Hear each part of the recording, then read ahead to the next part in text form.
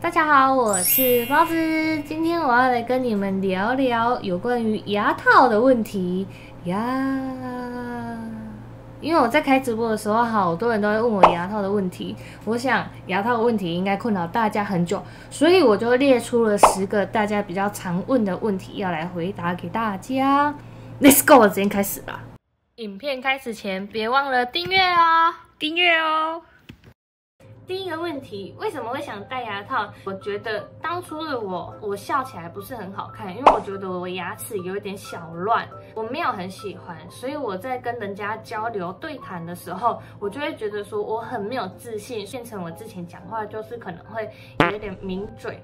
不想要让人家看到我的牙齿，我那个时候我就很下定决心跟我妈讲说，我想要去矫正牙齿，我想要戴牙套，所以我那个时候我就自己跑去戴牙套了。也有一小部分有关于流行吧，因为我们班那个时候高中也蛮多人在戴牙套的，所以这个也变成我想戴牙套的其中一个原因。第二个问题，矫正方式。现在的矫正方式有分传统矫正跟隐适美隐形矫正，我选择的是这种传统矫正。传统矫正的好处呢，吃饭的时候就要把你的牙套拿下来，一吃刷完牙再戴回去。传统矫正就只要一整天戴着，看的时候啊清洁干净，然后把牙这样子就好了。隐形矫正的好处就是在于说，它拍照的时候不会像这样笑出来露出来都是钢牙妹。这就是被俗称说钢牙妹，就是这个原因，一起来就很像满嘴钢牙这样子。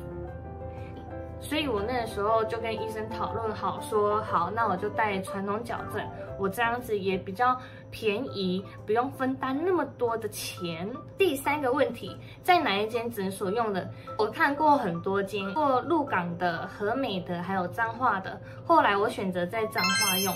鹿港的对我来说，它的价位都有一点小高。不过每间医生的医术不一样。如果你们真的想戴牙套的话，真的还是要自己去每一间看。我听下来比较适合我。脏话那一间的医生，给他只有一个人作业，时间上会比较长。不过他的技术是真的还不错，而且是我朋友推荐给我的。我朋友也在同一间的医院一起戴矫正，所以那个时候我们就想说，你要戴矫正，我要戴矫正，啊，不然我们就一起去矫正。所以就是这个原因，我才选择这张画矫正。第四个问题，矫正费用多少钱？这一间彰化的医院比较便宜一点，我这样子戴起来啊，加上骨钉两个的话，基本上是九万块。不过后面还有一些陆续假牙的问。问题，所以九万块只有包含我的这个排列跟我的牙套，后面还有几万块我还不确定，因为我也还没做完这些。第五个问题，戴牙套会不会瘦？会改善脸型吗？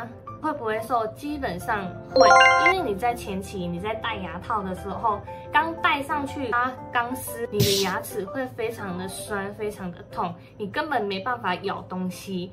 那个时候，就连我想吃个白吐司哦，都很难，很困难。我真的只有每天只能吃布丁，然后喝牛奶补充自己的营养，就是喝一些流质的食物。而且我只要刷牙也会痛，所以这就是为什么有人会说你在戴牙套的时候为什么会变那么瘦？不是不想吃，是因为咬了会很痛，所以没办法吃。还有说会不会改善脸型？改善脸型这个问题呢？嗯。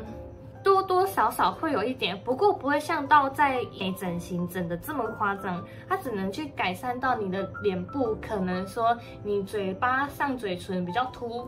他就帮你缩进来，这样子啊。如果说你的下巴是想要拉出去一点的话，这可能就是要稍微微整形，把这里的颧骨推出去，不会到有太大的改善。不过每个医生的医术也不一样，说不定你今天会因为一点点的小矫正，所以改善你整个脸型，这也都是不一定的。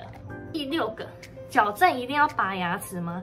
不一定。如果今天你是戴隐适美的话，你就可以不用拔牙齿，它就是每一颗牙齿都会固定上回原本的位置。传统矫正比较麻烦的就是它还要拔牙齿，让你的钢线有地方去拉，有办法拉的这么整齐。现在戴了快三年了，整个都还不错，胃也快拆了。矫正要不要拔牙齿，这个都是看医生决定。不过我后面听下来，如果戴传统矫正，基本上都是要拔牙齿，四到六颗。四颗的话，就是可能没有包含智齿；六颗可能就是有智齿的。第七个问题，会不会刮到嘴皮？这个绝对会，而且是蛮痛的。如果钢线跑出来，你吃东西，它就会跟你的皮肤一直摩擦，一直摩擦。你今天拿个东西一直磨你的皮肤，一直磨你的皮肤，当然会很痛啊。第八个，有没有不能吃的东西？很多人都是说不能吃咖喱，不能喝红茶，不可以吃芭乐。可是这些东西对我来说无感。不能吃咖喱，只是你笑起来比较不好看，可能会看到橡皮筋黄黄的。喝红茶也是一样的意思，因为它含有咖啡因。还有吃芭乐，它可能就只是比较痛，所以吃了会不舒服。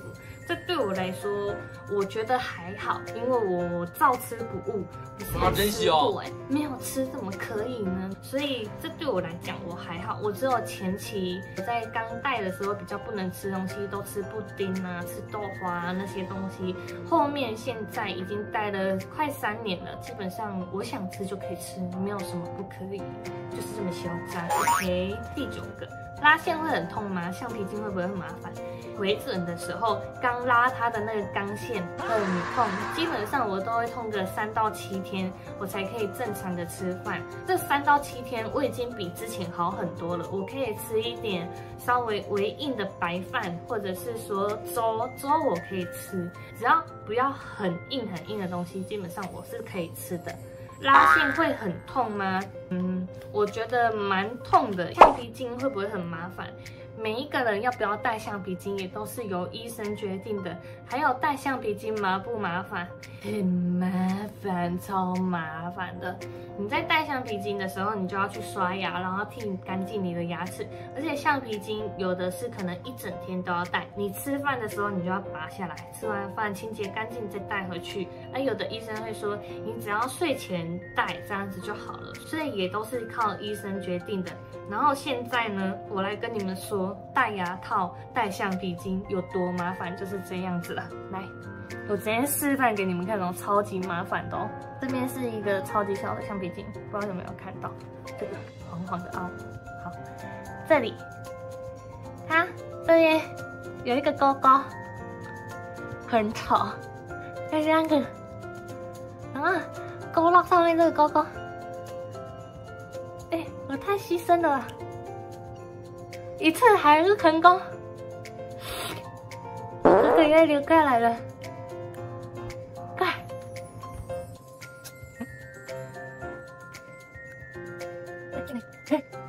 好。了，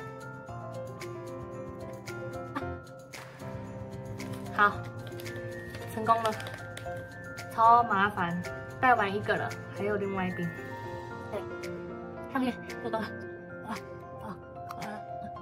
来而且每一次回诊的时候都会这样子调整，不是每一次都这样子戴，每一次都不一定会同一个位置。来，再来，还有还有，没有错，还有两个圈圈呐。这里前面的还要大，这的后面，这里前面的，这的后面，咦。变成你在讲话的时候，你就会卡卡的，而且你讲话就可能会有一点大舌头，因为它在拉，所以会讲话没有办法张很开。如果你张很开，让它有一个阻力就不舒服。笑起来是还好，可是这样，是怎样？嘴巴在打架是不是？嗯，嘴巴在打架，嗯。回家哎，等下再打架。所以说啊，如果想戴牙套的各位，真的要想清楚。不过是每个医生决定的啦，也不是每次都是这样子的。真的可以好好的考虑一下，或是在底下跟我分享说，你们戴橡皮筋有哪几种好笑的样子。最后一个问题，第十个问题，戴牙套会后悔吗？到现在为止啊，我是没有后悔的。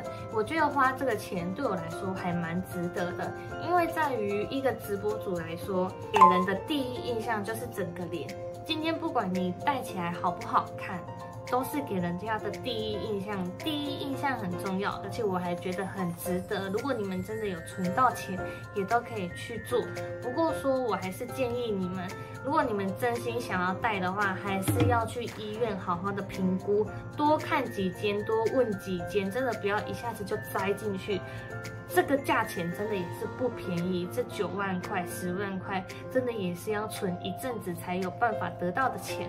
所以说，你今天还是很懒懒惰的人的话，也不太建议，因为它真的也是蛮麻烦的，怕蛀牙，或者是说你要戴橡皮筋一整天拔来拔去的，你觉得很麻烦，可能也自己要稍微斟酌一下这样子啦。今天的牙套影片呢，就到这边结束。这就是以上分享十个大家比较常问的问题。